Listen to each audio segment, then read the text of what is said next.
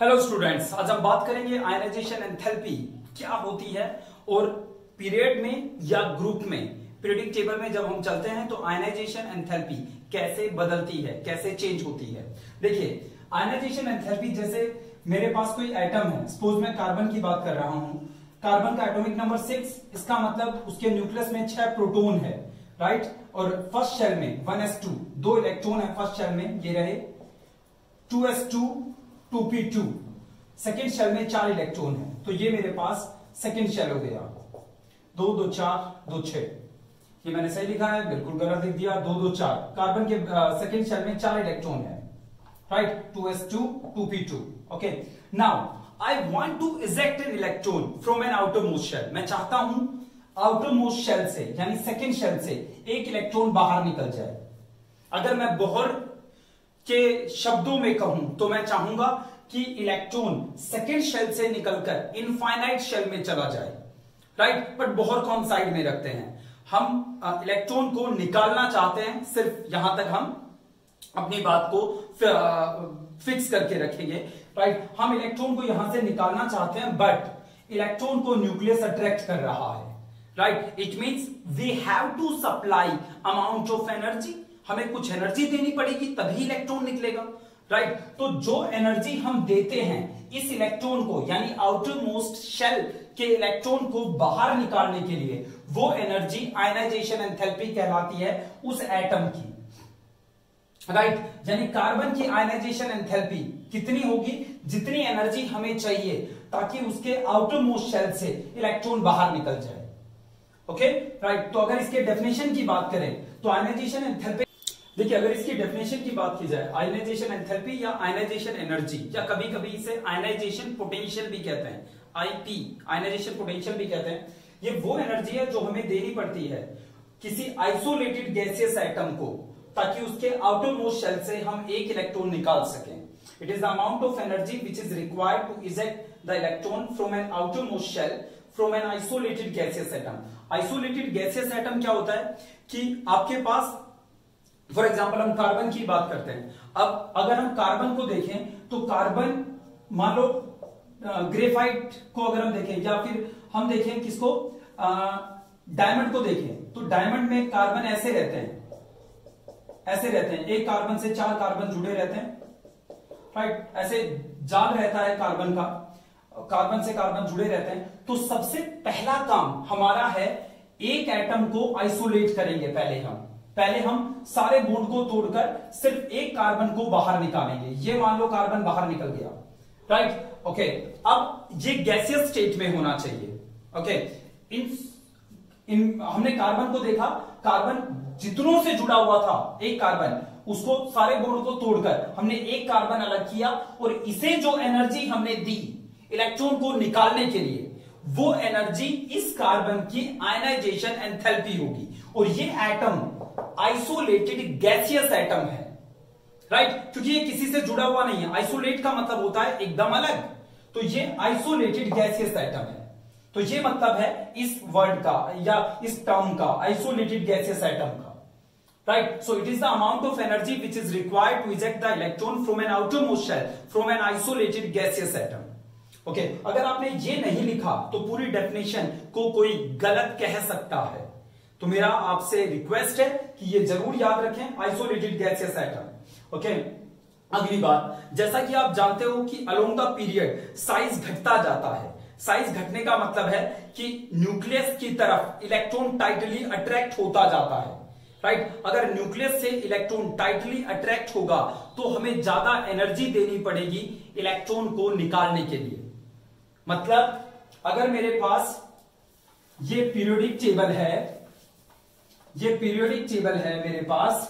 तो जब साइज़ अगर इस तरफ़ घटता है, इसका मतलब यहाँ वाले एलिमेंट को ज़्यादा एनर्जी देनी पड़ेगी इलेक्ट्रॉन को निकालने के लिए। यानी यहाँ के एलिमेंट की आयनाइजेशन एंथैल्पी ज़्यादा होगी इनके मुकाबले। ठीक है? यहाँ पे कुछ वेरिएशन आते हैं। जरा उस पर नज़र डालते हैं।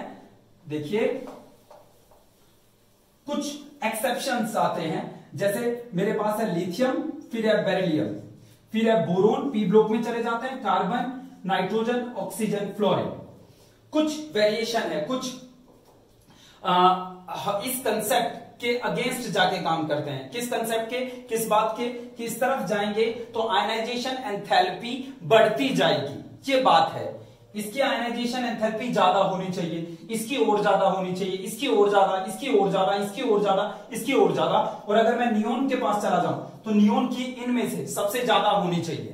बट हम एक दो जगह, एक दो जगह इस बात को गलत होते हुए देखते हैं। आपको यह समझना है कि वो बात गलत कहाँ होती है और क्यों ये बात गलत हो जाती है। कौन सी बात? कि इस तरफ़ आयनाइजेशन एंथैल्पी बढ़ेगी। कौन सी बात? कि इसकी आयनाइजेशन एंथैल्पी सबसे ज़्यादा होगी। इसकी कम, इसकी और कम, इसकी और कम और कम और कम और कम। इस बात को कहाँ कहाँ हम देखते हैं कि यह बात गलत हो जाती है। जरा देखिए बच्चों, लिथियम, बेरिलियम, इसकी आयनाइजेशन एंथैल्पी कम, इसकी ज़्यादा।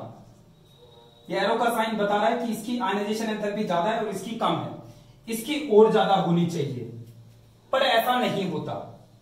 इसकी वजह है बेरिलियम का atomic number four electronic configuration one S two two S two इसका atomic number five electronic configuration one S two two S two two P one अगर आप देखें कि जब हम बेरिलियम से इलेक्ट्रॉन निकालेंगे तो ये इलेक्ट्रॉन टू एस से निकलेगा।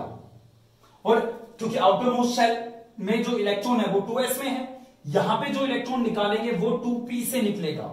अब एक चीज़ आपको याद रखनी है, एक इफ़ेक्ट होता है पेनिट्रेटिंग इफ़ेक्ट।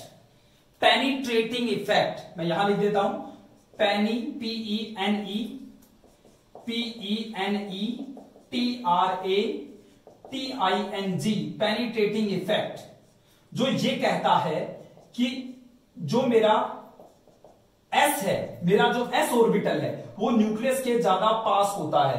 वो न्यूक्लियस को ज़्यादा पेनिट्रेट करता है। न्यूक्लियस में गड़ जाता है मैं मुझे कहना चाहिए। राइट right, ऐसा नहीं न्यूक्लियस के अंदर चला गया बट न्यूक्लियस के बहुत पास पहुँच गया उसके अंदर उसको पेनिट्रेट कर दिया। ये मतलब है यहाँ न्यूक्लियस को पेनिट्रेट नहीं किया बट ऐसा लग रहा है। ओके एस न्यूक्लियस के बहुत पास होता है पी थोड़ा दूर होता है डी और दूर एफ़ और दूर। यानी एफ़ का पेनिट्रेटिंग पावर सबसे ज़्यादा है। न्यूक्लियस को पेनिट्रेट करना, न्यूक्लियस के पास जाना। तो जब इलेक्ट्रॉन एस से निकालेंगे राइट तो वो न्यूक्लियस के ज़्यादा पास है। इसका मतलब इस इलेक्ट्रॉन को ज़्यादा एनर्जी देनी पड़ेगी, क्योंकि न्यूक्लियस उसे ज़्यादा खींच रहा है। So we have to supply more amount of energy to eject two S electron then two P electron ये इलेक्ट्रॉन मुश्किल से निकलेगा, ये आसानी से निकल जाएगा, क्योंकि ये ये ज़्यादा पास में है, ये न्यूक्लियस से थोड़ा दूर है। याद रखो, ये कंपैरिजन मैं इसलिए कर रहा हूँ क्योंकि 2s और 2p की बात चल रही है। अगर मुझे ये 2s 2s और 1s में से चूज़ करना होता, या मान लो 2p एक जगह 2p है और एक जगह 1s तो मैं कंपैरिजन नहीं कर पाता। फिर बेशक मैं क्या कह रहा हूँ कि अगर मुझे कंपैरिजन किसका करना होता?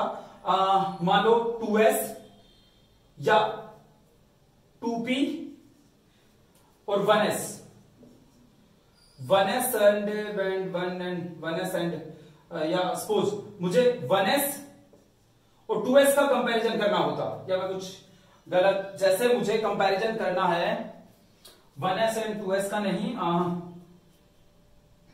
two S and three P I am sorry मुझे कंपैरिजन करना है two S and three P का। Right right? या फिर मुझे कहना चाहिए टू पी और थ्री एस। अब सही है सॉरी अब मुझे कंपैरिजन करना है two P and three S का। Right right?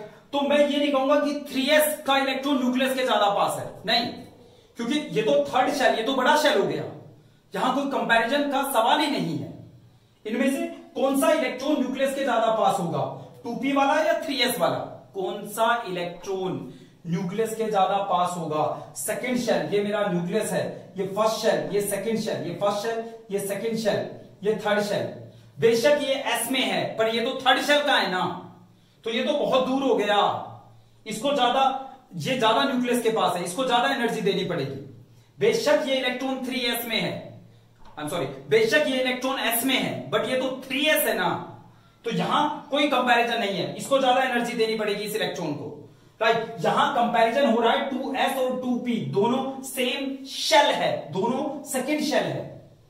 राइट तो इसको ज़्यादा एनर्जी देनी पड़ेगी इसके मुकाबले। तो आयनाइजेशन एंथैल्पी किसकी ज़्यादा होगी? बेरिलियम की ज़्यादा होगी। ऐसा लग रहा था कि इस तरफ़ आयनाइजेशन एंथैल्पी बढ़ती है। ऐसा लग रहा था कि बोरोन को ज़्यादा एनर्जी देनी पड़ेगी बट बोरोन को नहीं बेरिलियम को ज़्यादा एनर्जी देनी पड़ेगी। बोरोन को बेरिलियम के कंपैरिजन में कम एनर्जी देनी पड़ेगी। अब आगे एक और झटका हमें देखने को मिलता है। कार्बन को ज़्यादा, सही बात है। नाइट्रोजन को और ज़्यादा, ऑक्सीजन को कम। दोबारा से हमें एक्सेप्शन देखने को मिला। इस बार वजह कुछ और थी। इस बार वजह क्या थी? नाइट्रोजन देखिए।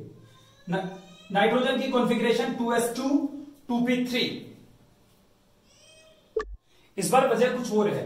नाइट्रोजन की कॉन्फ़िगरेशन ये है। 1s2 2s2 2p3 राइट अगर मैं इसके बैलेंस शेल को देखूँ तो 2s में दो इलेक्ट्रॉन है 2p में तीन इलेक्ट्रॉन है। एक एक इलेक्ट्रॉन भरेंगे। कौन कहता है? जिसको ये नहीं पता, वो नर्क में जाएगा। कौन कहता है कि पहले एक एक इलेक्ट्रॉन भरो? ये हंड्स कहता है। पेयरिंग तब स्टार्ट करनी है जब सारे ऑर्बिटल्स को एक एक इलेक्ट्रॉन मिल जाए।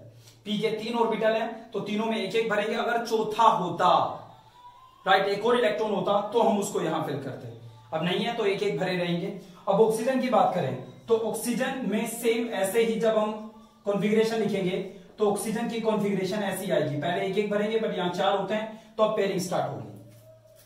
ये नाइट्रोजन है, ये ऑक्सीजन है ओके यहाँ नाइट्रोजन एक स्टेबल इलेक्ट्रॉनिक कॉन्फ़िगरेशन के साथ है, स्टेबल, जो हर कोई होना चाहता है। ऑक्सीजन के मुकाबले इसकी कॉन्फ़िगरेशन ज़्यादा स्टेबल है, क्योंकि ये कंप्लीटली हाफ़ फिल्ड है।